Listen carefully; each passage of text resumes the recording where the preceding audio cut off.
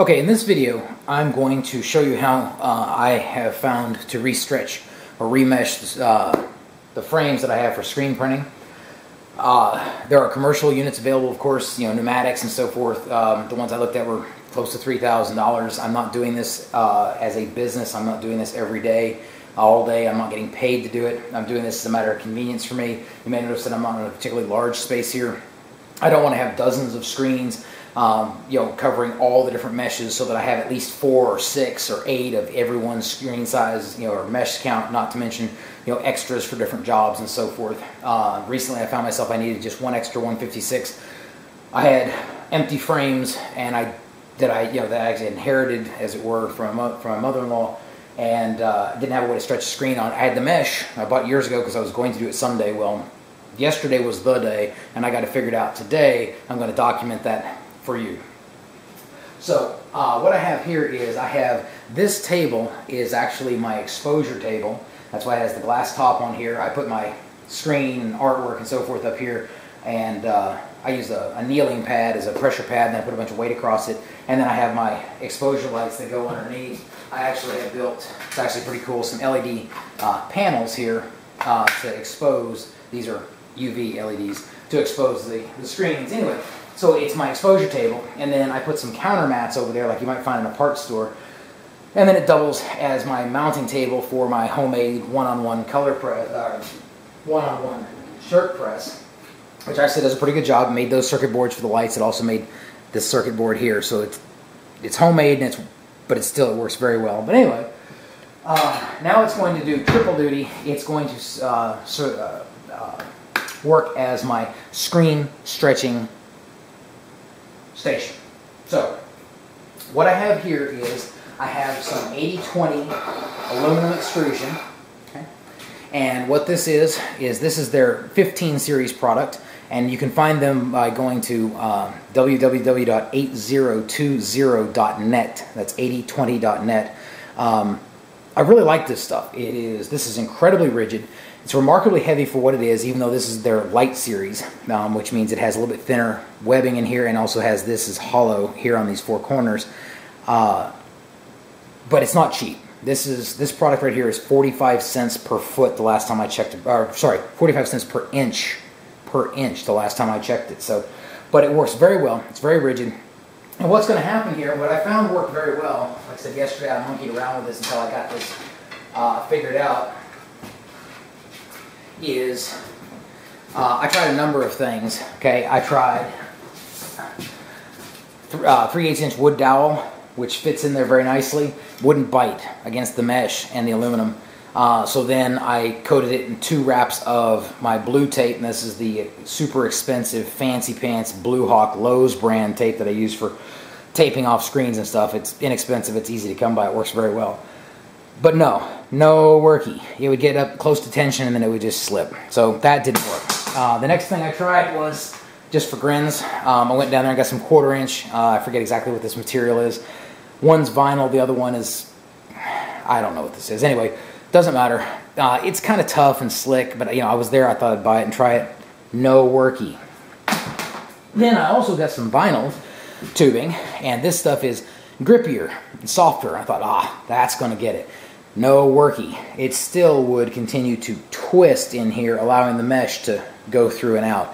This will work, however, if you, once it's in here with the mesh wrapped around it, if then you'll shove a 1 16th inch dowel rod, or sorry, 1 8th inch dowel rod along the side of it over here, but pushing that dowel rod in on the second of the two parallel pieces is a booger. It's already tight. You try to shove that in, it, it it's tight. It will work, it will hold, but it's not ideal. What did work very well is this is, I believe, half inch quarter round, and this came from Lowe's. So um, I believe this dimension is half inch. That's that's half inch, of course. So they call it a half inch. It's half inch radius, obviously, quarter round, and this works very well. It just fits in here. It's it's not snug, really, but by the time you put the mesh on there, it is kind of snug. So that worked for me yesterday, and that's what we'll be doing today. Uh, the, the uh, the next thing is, and this is really, really cool, the, uh, I wish I had more of these knobs. You'll notice I have two of these black knobs over here. Uh, unfortunately, they, did, they only had three at Lowe's, so I'm going to put two on so I'd have them on one side. Uh, this is just a clamping knob. Uh, apparently, clamping is a technical term meaning that it can pass through the backside. Uh, they had other knobs down there which were not la labeled as clamping knobs. Doesn't matter, who cares? Just watch that some of them don't have a hole all the way through. So, like this, where the bolt is way too long, it would actually bottom out. They had brass inserts and they would bottom out.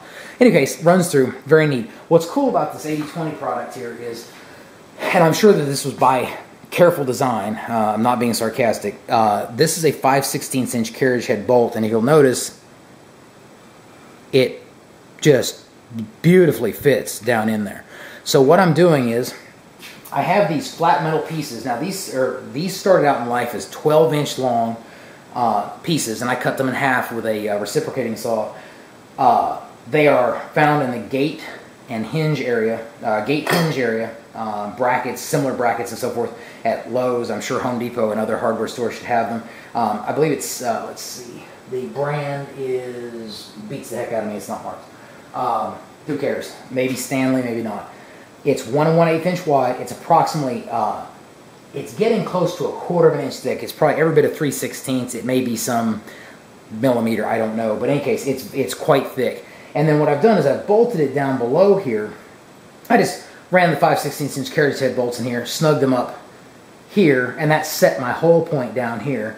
Drilled a hole, pinched it, and what's going to happen is now when the screen tries to pull this metal this way, it's going to pull this tab of metal over like this, over this way until it hits the top piece here, and it's got that leverage. It just, it works very well. It doesn't go anywhere. The nice thing is that even with these fairly snug, you'll see I can lower it down so I'm not going to be left with this nasty screen grabbing, love handle grabbing, whatever that's going to bite a hold of uh, things and tear it up. I can just pivot this down so when I'm done, I have my table nice and smooth again.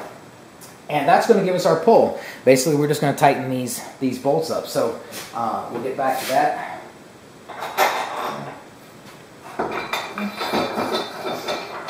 So that was that was the first challenge was how was I going to get a hold of the mesh and the 80-20 extrusion along with a half inch quarter round solve that it works very well. The next the next challenge is how to glue this stuff down. Now your screen printing supply stores uh, online, the ones that I looked at, it's going to cost you about $40 for 16 ounces of screen mesh adhesive. Reading around online, I find that the general consensus is that the screen mesh adhesive is nothing but cyanoacrylate glue. That would be super glue.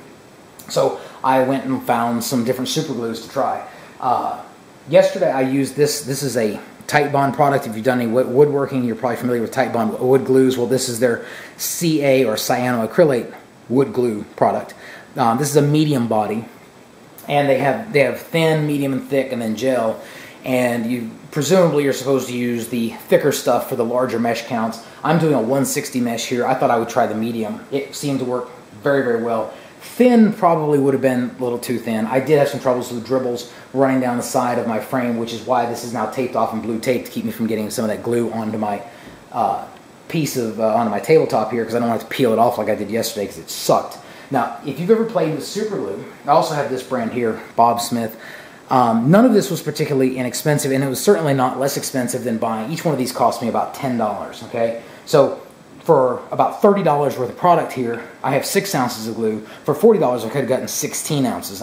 So in the future, I'm probably going to go and buy the commercial stuff sold by the screen printing supply houses. Now, the reason why I did this was one, for testing, and two, that I can get this quite easily in small quantities because apparently uh, cyanoacrylate will go bad period. And I've seen that firsthand with super glue tubes going bad. Although keeping in the freezer is supposed to keep that from happening. I've only tried that recently. I've got a tube sitting in the in the, in the had it in the fridge for, for a week and was able to use it again without any troubles. No crusties on the th- on the lid. So freezing it may be a good solution, but I'm not going to promise that. I haven't tried it long enough.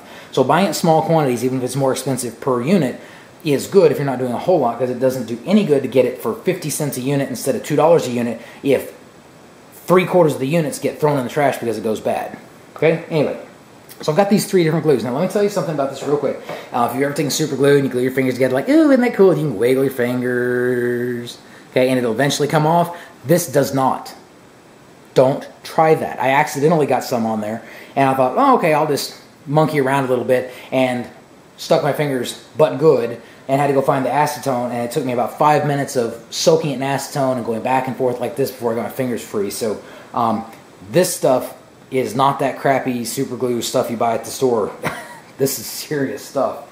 Um, I also got the accelerator um, and this worked very well. neat. Just sprayed it on and I mean boom, that quick. It was set. I put my hands on it. It was the, the glue was set.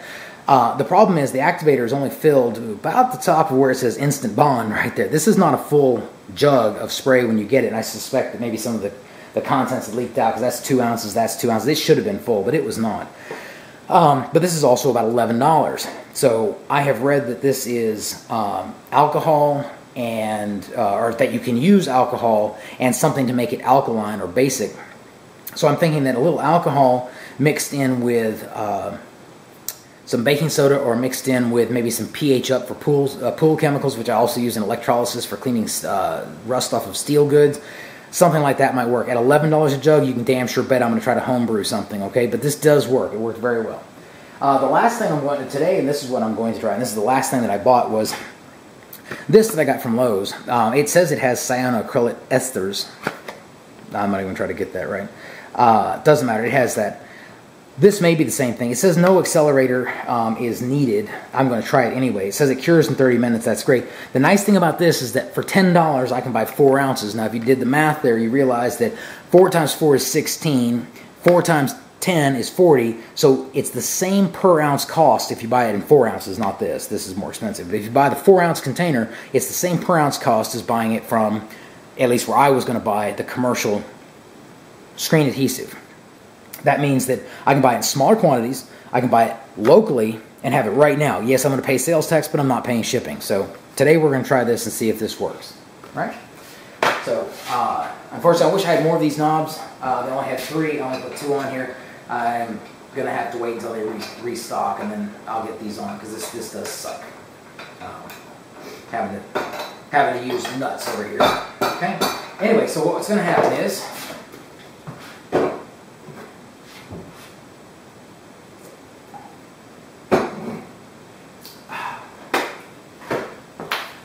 I'm here.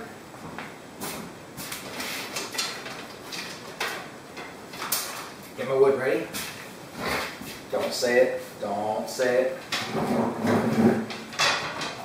Okay. Here's one of the screens that I have. Like I said, I, I sort of inherited these from my mother-in-law. She has given my wife and myself all of her screen printing stuff to use. In any case, I'm going to rescreen this or remesh this. I've had the mesh for years. I'm, I'm excited to finally get a chance to use this stuff all I did was I went along and used some 120 grit sandpaper with a sanding block and just sanded it a little bit and then I used some acetone to wipe this down. The next time I get ready to clean one of these, I'm going to try some uh, lacquer thinner. I think lacquer thinner might have been more aggressive than acetone. Acetone's cool and everything, but um, it, not only does it evaporate you know, incredibly quickly, not that lacquer thinner doesn't, but it doesn't seem like it's got the that uh, lacquer thinner does. But anyway, I've got it fairly clean.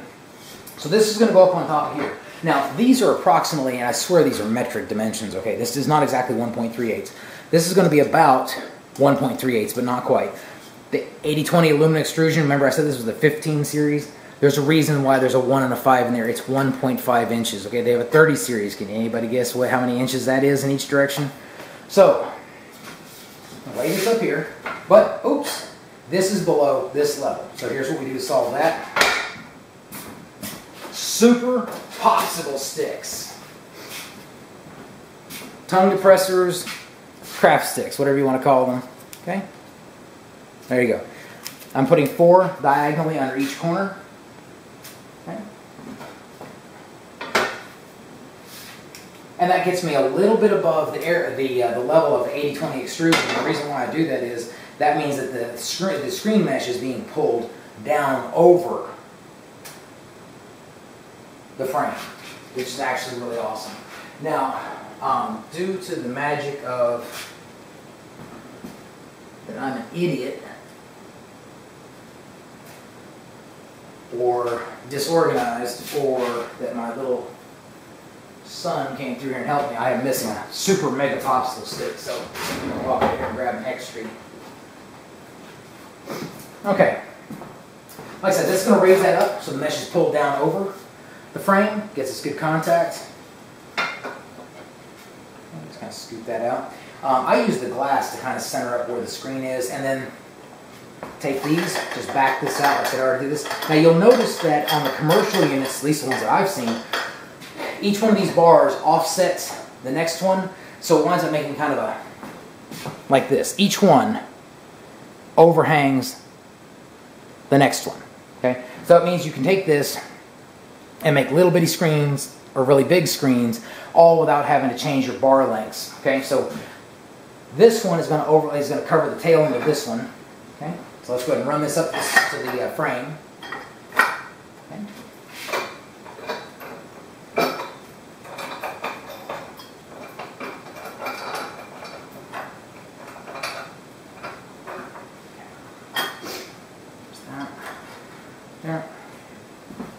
This one overhangs this end.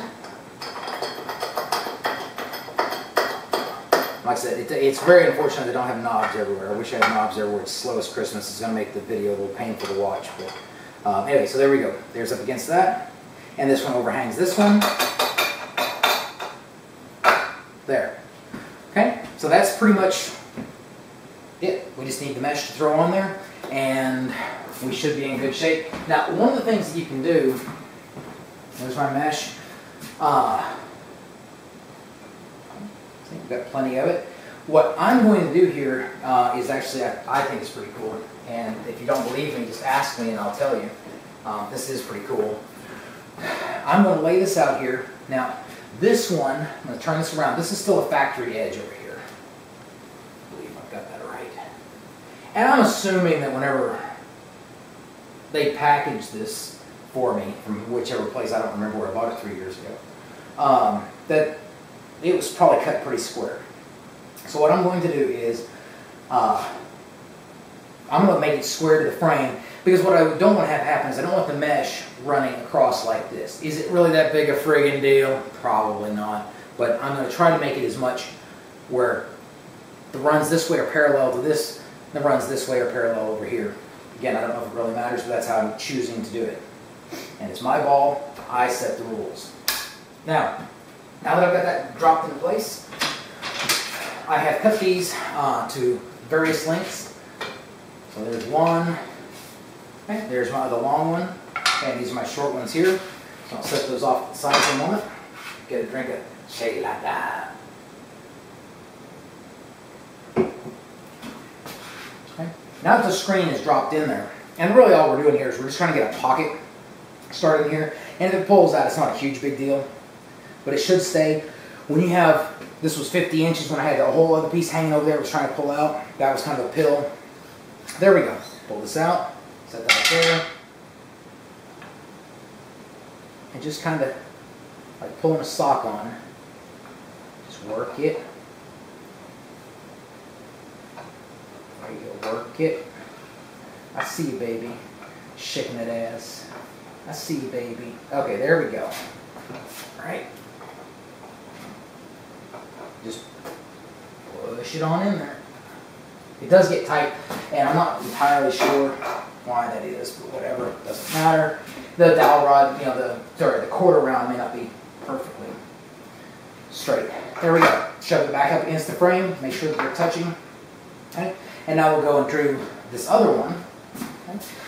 And again, notice that this one overhangs here, so that means that one's going to overhang over there. Okay. Move the kitty cat out of the way. All right. And I'm going to do this to kind of get that pocket started. Um, what I also did, which may or may not show up very well, is you'll notice I rounded that off with sandpaper, okay? I didn't just cut it and try to shove it through there. It's rounded off with 180 grit sandpaper. I probably could have gone to 220 and then up to maybe uh, 320 or so, but I didn't. Okay, I'm going to hold the fabric here on either side, trying to keep that pocket. Pull that out, see how that popped back out? It's not going to be a huge big deal. Okay, shove that on in. And notice this one's going smoother for us. Excellent. Or for me, actually, you guys aren't doing anything, you're just watching. Um, all right, there we go. There's the sides. Again, make sure that our extrusion is up against that frame. And what I'm going to do, and this is what I did, I, I, well, I screwed this up yesterday. Let's just be honest with ourselves uh, what I'm going to do is I'm going to cut strain relief here in the corners. Now this is important, and I hope it'll show up on the video here. We're going to cut our strain relief into the corners here in line with our overhang. That what that that's going to do is that's going to uh, so here in a minute when I get ready to cut this because I'm going to cut this before I shove that piece in because you may already see that it's bunching up. Well, if you cut it diagonally, you don't have a sock leading into this channel right here, and I had to use my other stuff. That, that was not good. So I'll just take this, and I could probably just take a razor blade up close to it. Okay, there, right there. That ought to be plenty good. Again, like I said, we're trying to leave ourselves a sock that we can pull onto our rod there. Say it. Same thing here. Remember, in line with that overhang. Okay? There we go. We're not going all the way up to the corner of the frame. Uh, we don't need it that far up. Now notice I'm cutting a little bit this way because the whole material is kicked that way. I'm going to cut it over that way so that when I cut this free and I get that strain relief that I'm looking for, see, it kind of popped out. Maybe it didn't show up. It doesn't matter. Kitty, I don't need your help. Okay. So, do the same thing. Drop that 5 16 inch dowel rod, fits nicely into that 80-20 groove with the fabric. Just shove it down in there. And it makes a liar out of you every time. There we go. I got that. Get ready with our quarter round here.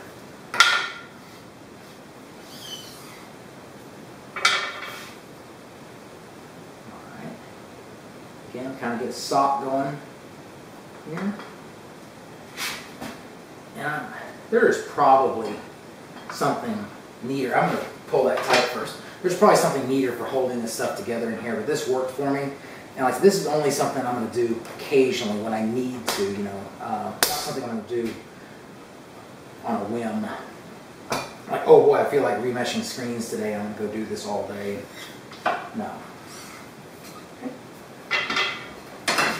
But when you consider that I'm going to remesh this thing for about $6, including mesh and adhesive, uh, versus $25 uh, plus shipping to get another one, and that I can keep measuring hand inexpensively and plenty of it, that this becomes uh, kind of interesting. It becomes something you might want to consider doing. I don't know why sometimes. Sometimes it's a booger I could probably sand those down. There, okay. And the last one.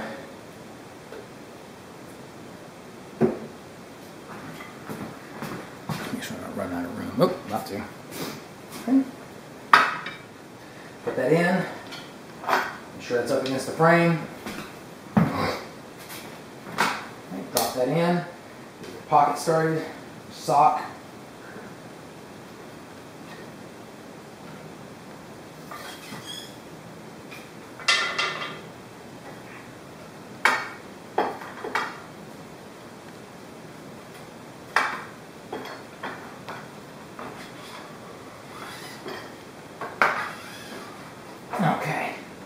there we go.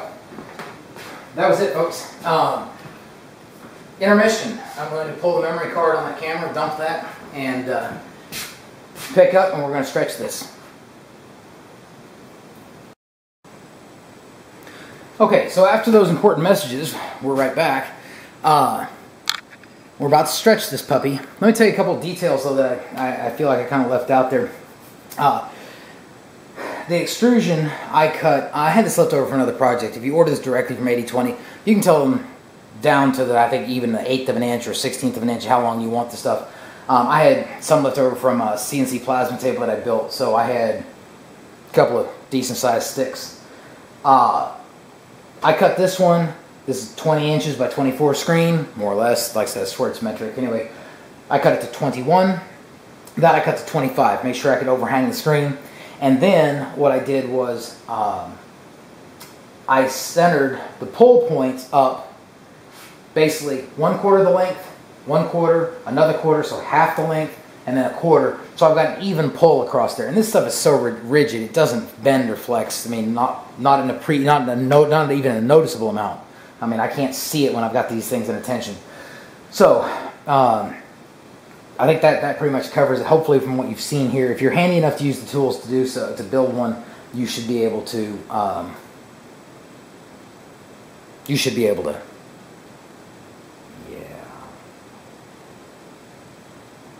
anyway you should be able to build it. I just realized i didn't sync the uh, audio after i stopped and started the camera. Oops. We'll figure i'll figure that out later. Clean that up in post-production. All right. So what we're to do is i'm to start with the hard one first. I don't have nuts over here. Don't say it.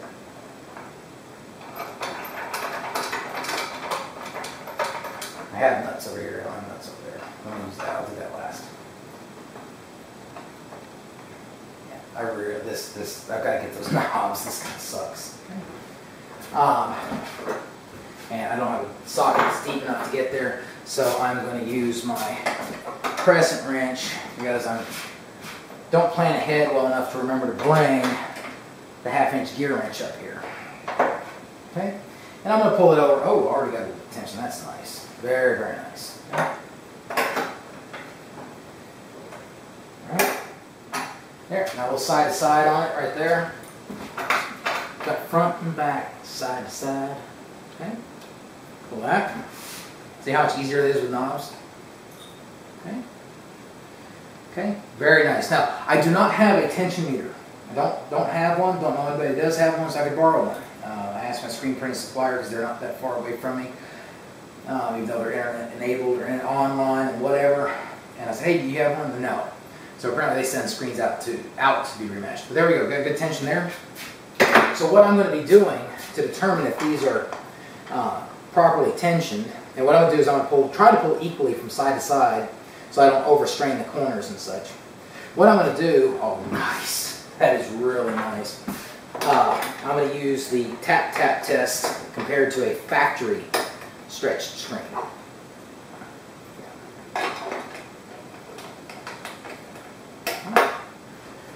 We're not building uh, mesh frames for NASA here, okay? So it doesn't have to be perfect, it just has to be really damn good.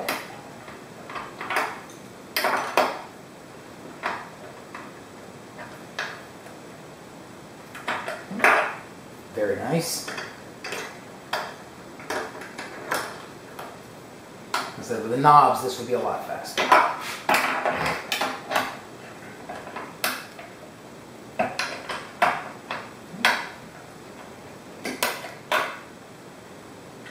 Yeah, that's getting there for sure.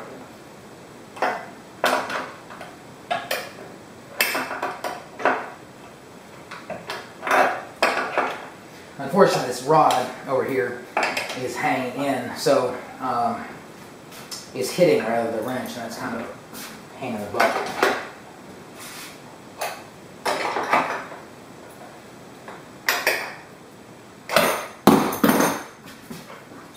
Nice.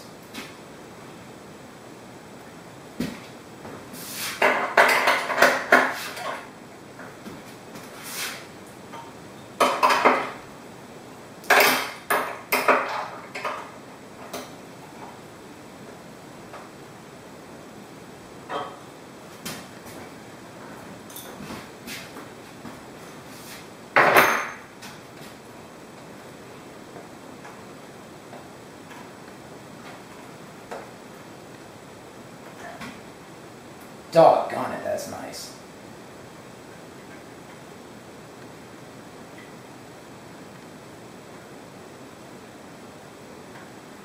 Yes, is feeling very, very awesome. Now, the first one I did yesterday, I noticed it felt like it lost some tension after I glued it and cut it free. And that's probably because the frame, you know, will uh, flex to a certain extent, although I can't believe it stretches that or extent moves that much. Okay, so I'm going to make it a little tighter than what I had yesterday.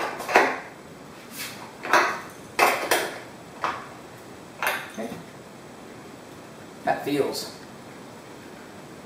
pretty good.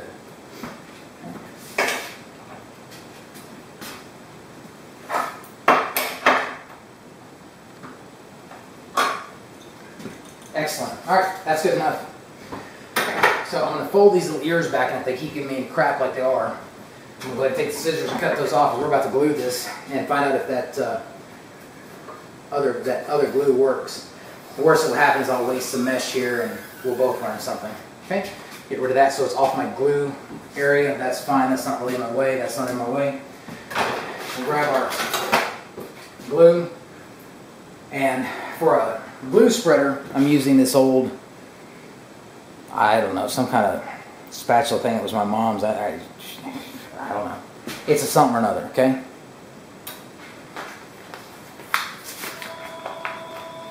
And that'll be the way calling our way home.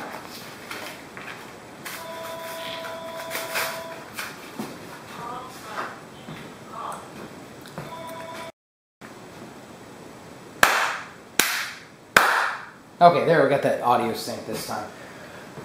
Okay, uh, here we are. We're about to put the adhesive down and try this out. Um, I, I, know this stuff says it doesn't need accelerator. I'm going to use the accelerator because I'm just crazy like that.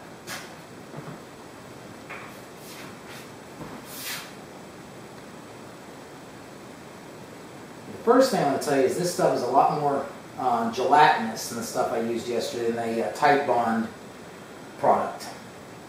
Is a lot thicker body, which is probably not a bad thing because I did have to fight yesterday with the Tight Titebond product. Um, oh, that's spreading out nicely. With the Tight Titebond product dripping off of my spreader tool and onto uh, oh yes, cyanoacrylate. God bless, I should have remembered to open a window. Jeez. Anyway, the liquid least I shouldn't have to worry about it spreading down and dripping down. Oh my god. Yeah, that was awful when it dripped down. Excellent. Well, it's spreading out nicely. I'm not sure I don't uh, actually uh, like the thick body better, actually, than the thin stuff. I am having to spread it in, but I don't think that's such a bad deal. Okay.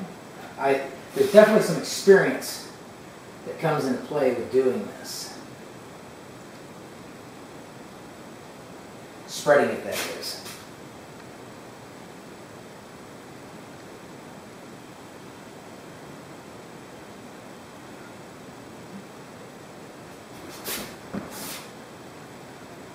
And the nice thing about doing this yourself is that you're not beholden to some service to do it for you. It means you can do it in-house, and I'm sure that with experience, this is going to go faster and faster.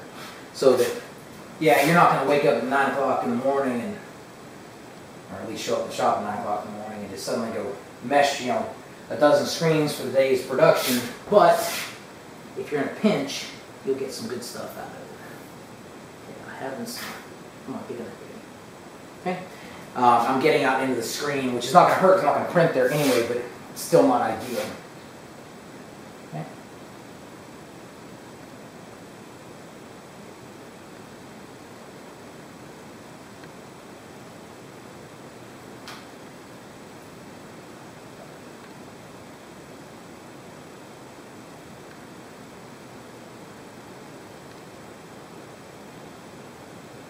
And I'm not sure how important it is to get this coated all the way across that tube like it is on the professionally made ones.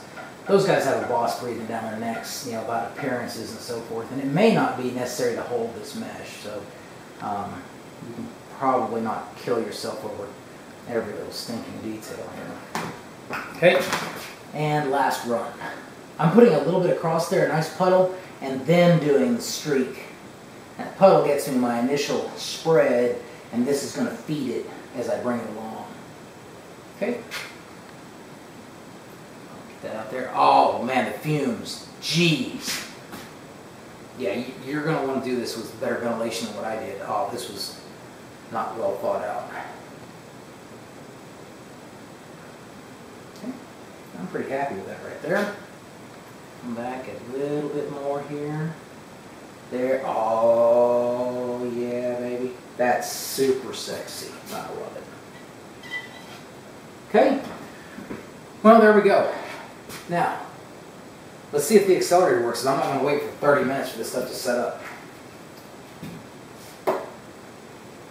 First, I'm going to try to wipe the liquid glue off of this. Now, you know what's interesting is they say that this stuff won't set up um, without moisture or if it's in an acidic environment. So I wonder if you could maybe add some acidic moisture, like some citric acid in water, to wipe this down to keep it from setting up um, as you're trying to wipe it down. And the reason why I say acidic acid is, uh, or sorry, citric acid, acidic acid, cheese. Anyway, citric acid. The reason why I say citric acid is that I happen to keep some of that stuff in the stock, ready for immediate delivery. Uh, in the form of Lemi Shine detergent booster, which does an excellent job um, in tumbling media for cleaning brass for reloading. Um, crazy shiny brass. Anyway, it's an acid, but anyway, that might work for cleaning these tools up. Right now, what we want to find out is if that glue is going to set up with the accelerator. Uh, like an idiot, I'll just test this and go, yes, that's still wet.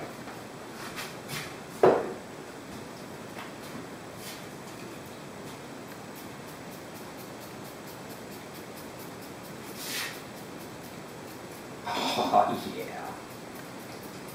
Say like this is uh, alcohol. You can do some reading online about using alcohol to speed dry cyanoacrylates. Um, the alcohol might be a great idea because it's got the moisture that the cyanoacrylate needs to cure, but it's not 100% moisture. It's got the alcohol which will evaporate very quickly.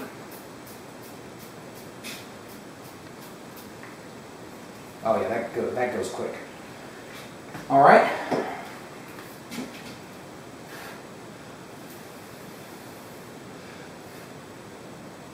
Hot damn, look at that. It's not, the glue is not wet. No weto no moro. That's Spanish for that's not wet anymore. Um, that is super badass. Oh, hell yeah. I love it. That is just awesome. Feels hard. Yes. Okay? Well, there you go. You saw me spray it. And you saw me touch it before, then it was wet. So I spray it, now it's not wet. And the, the real test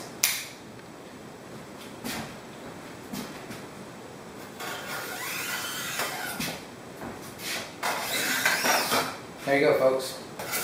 That's stuck.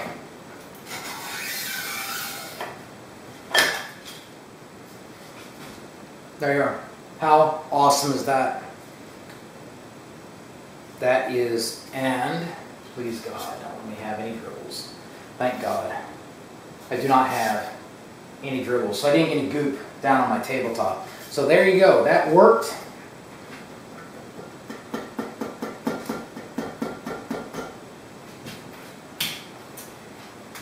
I love it. Easily uh, purchased at uh, Lowe's.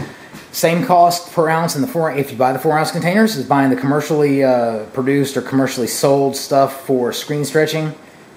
Or at least it worked. You know, same cost and it worked. So whatever. And then the instant bond activator, but at eleven dollars, ten dollars and change, this was this was not the way to go. Um, try we'll try some uh, rubbing alcohol and maybe some pH up. There you go, folks. I hope this helps. Um, have a have a great day and happy uh, screen printing. Later.